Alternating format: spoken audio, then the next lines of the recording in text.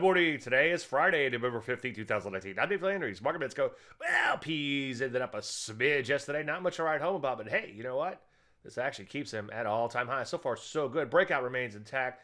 Futures a little firm pre market, so could see a little follow through at least on the open. Take a NASDAQ. Yeah, down a smidge yesterday, but hovering right around all time highs. And so far, as you can see, breakout remains intact. As I've been saying ad nauseum, Rusty just not quite bringing up the rear just yet. Wide and loose, he tried to say, trading range in this big picture retrace rally. You know, routine, though, take things one day at a time. Some areas like real estate losing steam in here. No big whoop there. That's probably due to the fact that interest rates are on the rise. Take a look at drugs, off a little bit in here, stalling at their prior highs. For the most part, though, most areas looking pretty good. Retail right at brand new highs. Some other areas like software, which have been eh, kind of dubious, have now been improving as of late. So what do we do? Well, continue to look to get long, but as usual, wait for entries and honor your stops, same as it ever was.